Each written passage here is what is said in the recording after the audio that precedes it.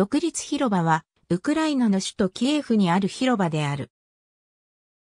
20世紀初頭以降、中央広場の役割を果たしている。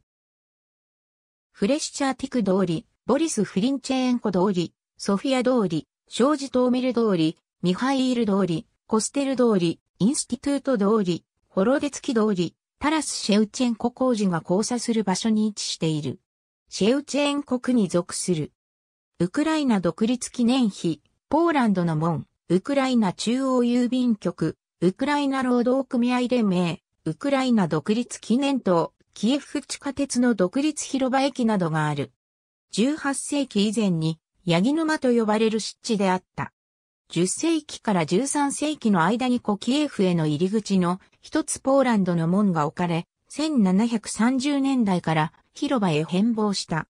旧称は、フレッシャーティク広場、私立議会広場、ソビエト広場、カリーニン広場、9月19日広場、10月、革命広場。ウクライナ独立後に、現在の名称に改名。2004年に、オレンジ革命の舞台となった。2013年から2014年にかけての政変においてもデモの舞台となり、ユーロマイダンと呼ばれていた。ありがとうございます。